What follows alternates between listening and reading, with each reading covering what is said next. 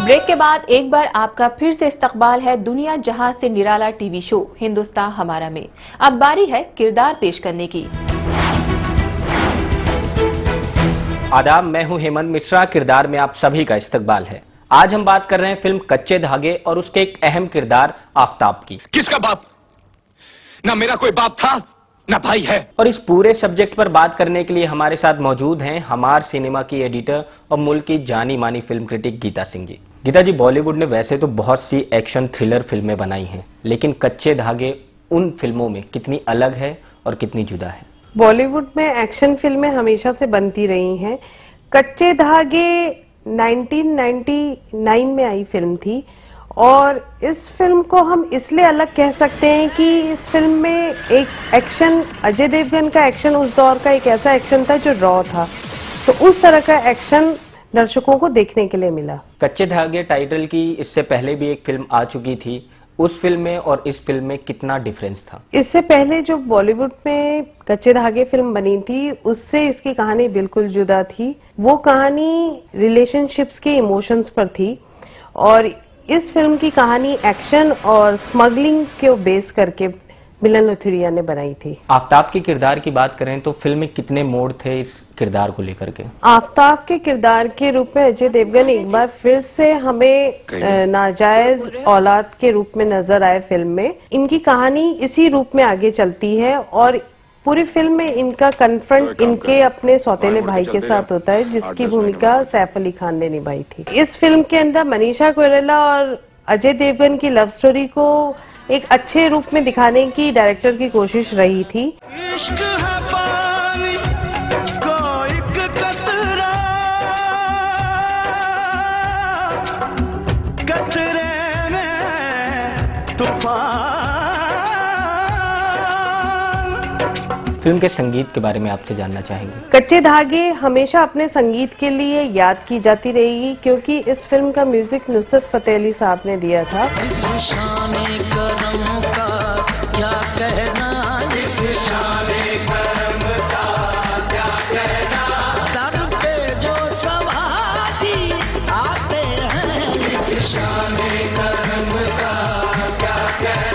और ये शायद पहली फ़िल्म थी जब उन्होंने बॉलीवुड सिनेमा में अपना म्यूज़िक दिया था।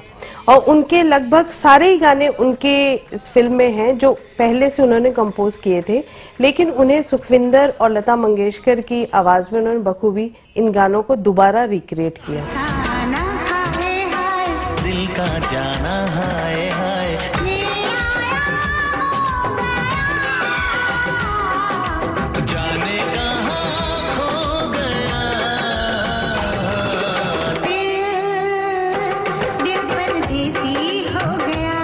और रही बात फ़िल्म के डायरेक्शन की तो मिलन लुथिरिया ने इस फ़िल्म को डायरेक्ट किया है और उन्होंने इससे पहले महेश भट्ट के असिस्टेंट के रूप में कई फ़िल्मों में काम किया। तो उनकी इस फ़िल्म में महेश भट्ट की छाप भी पूरी नज़र आती है। शुक्रिया गीता जी। आज के किरदार में बस इतना ही। अगले एपिसोड में फिर होगी आपसे मुलाकात एक नए किरदार के साथ। तब तक के लिए खुदा हाफिज। किरदार की पेशकश के बाद अब वक्त है सियासी सन्नाटों से ढूंढ लाने की कुछ ऐसी खामोशियों को, जो खबर बनने से पहले की आहटे हैं। तो लीजिए पेश है आज का मिर्च मसाला। जैसी कि उम्मीद जताई जा रही है कि 2014 में मरकज में एनडीए नीत हुकूमत की दावेदारी मज़बूत हो सकती है। ये भी कयास लगाए जा रहे हैं कि अगर मरकज में ऐसी कोई हुकूमत बन सकती है तो उसमें प्रकाश सिंह बादल, नीतीश कुमार रमन सिंह, शिवराज सिंह चौहान सरी के इलाकाई सूरमाओं को खासी अहमियत मिल सकती है। इसे देखते हुए सुखबीर सिंह बादल पंजाब में तरक्याती मंसूबों को लेकर खासे सरगर्म हो गए हैं। पंजाब में इन दिनों बिजली व बेरोजगारी दो अहम परेशानियाँ मुँह बाय खड़ी हैं। ऐसे में जब सुखबीर अपने परिवार के साथ छुट्टियाँ बिताने हफ़्ते के आखिर में दिल्ली आते हैं तो यहाँ आए दिन अहम कारोबारियों से मुलाकात कर रहे हैं। जैसे राकेश भारती मित्तल अतुल पुंज, गौतम थापर, मनोज गौड़, मालविंदर सिंह वगैरह। सुखबीर सिंह इन कारोबारियों से पंजाब में नए प्रोजेक्ट्स लगवाने को कहते हैं और इसके लिए अपनी हुकूमत के जानिब से पूरी मदद देने का वादा भी कर रहे हैं। आज के एपिसोड में हम मुंबई के दादर इलाके में रहने वाले शमशाद अंसारी का पैगाम शामिल कर रहे हैं। वो कहते हैं कि हिंदुस्तान हमारा एक ऐसा प्रोग्राम है जो कौम के मसाइल की सबसे सच्चे तरीके से शिनाख्त कराता है।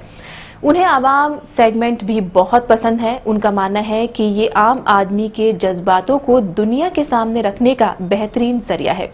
इनकी ख्वाहिश है कि मुल्क के मुख्तलिफ़ सूबों के लोगों को भी इसमें शामिल किया जाए। शुक्रिया शमशाद साहब हमारी हौसला अफजाई के लिए। आज का हमारा ये एपिसोड आपको कैसा लगा, ये बताने के लिए आप भी हमसे इस पते पर रबता कायम कर सकते हैं। यकीन मानिए, आपका हर एक मशवरा हमारे लिए बेहद कीमती है। खुदा हमको ऐसी खुदाई ना दे कि अपने सिवा कुछ दिखाई ना दे। खताबार समझेगी दुनिया मुझे, अब इतनी ज़्यादा सफ़ाई ना दे। आज के एपिसोड में बस इतना ही। कल फिर होती है मुलाकात। इसी वक्त इसी चैनल पर, इसी प्रोग्राम में।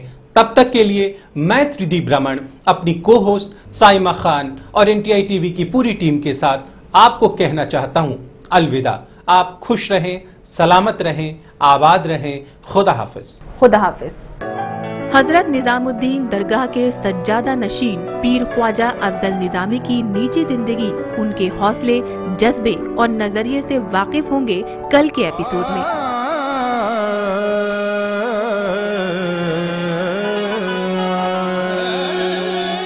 कतरा कतरा हर शय की रवानी में है। जो ये वतन ज़िंदा है, तेरी जिंदगानी